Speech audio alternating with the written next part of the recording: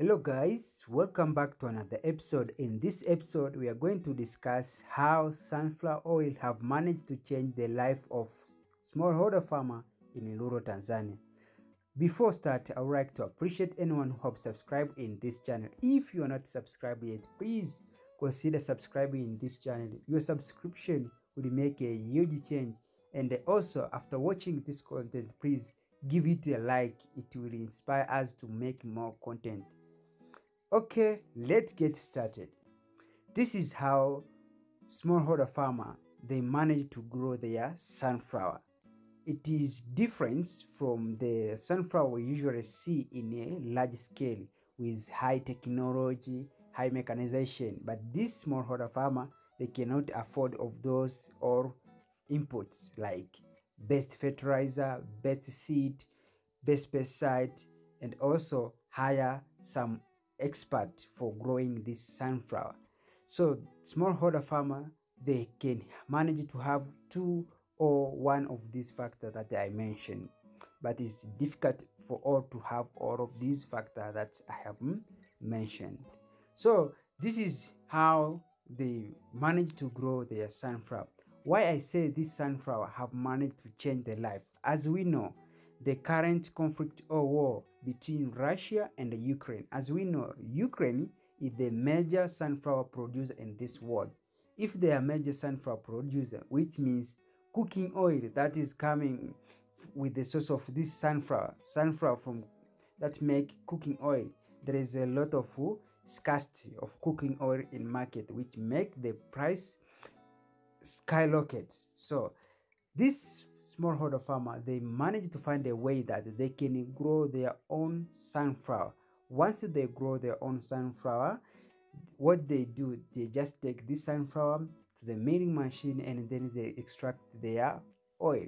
This smallholder farmer they don't use a lot of high tech what i learned from china when i was dealing with smallholder farmer china is they are investing a lot in smallholder farmer because smallholder farmer once you support them they are the one that can make a huge impact or direct impact in the society.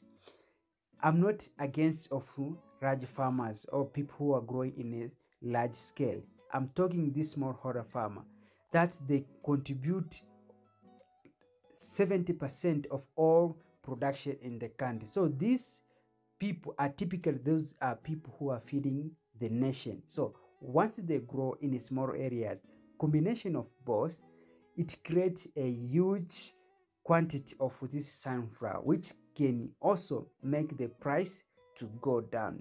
So in my place we usually buy cooking oil but nowadays everything has changed. Why? Because of sunflower. We usually to buy cooking oil 20 liters. In tanzania shilling 120k Tanzania shilling, but now the price is reduced to 85 to 90k Tanzania shilling. So you can see the impact of this smallholder farmer. And once they harvested, you can see even the head or the spike of sunflower. They are not uniform like the big company or the people are growing in a large scale.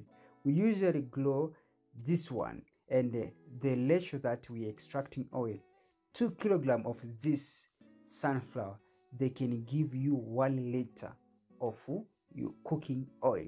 And what i love about this cooking oil their health why i say it their health because you can't you cannot add anything. This one is like virgin oil. Just you squeeze out of this and then you get your oil. And this is the way that we are extracting the seed.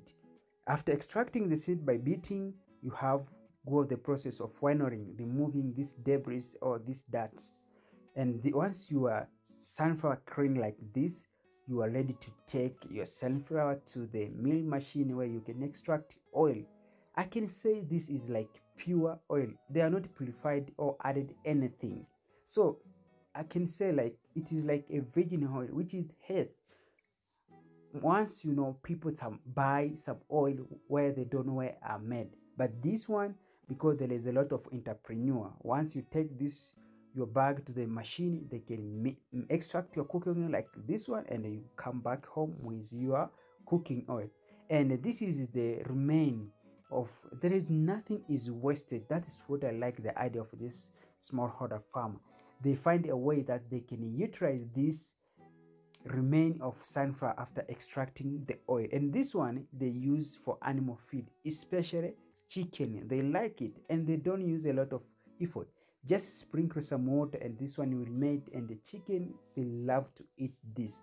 And also this entrepreneur they find a way that they can utilize this one remain to make a soap so even if you don't have animals to keep so you can also sell this and get some money so guys this has been it for today. I hope you find this video is useful in one way or another. Thank you for watching. See you in another episode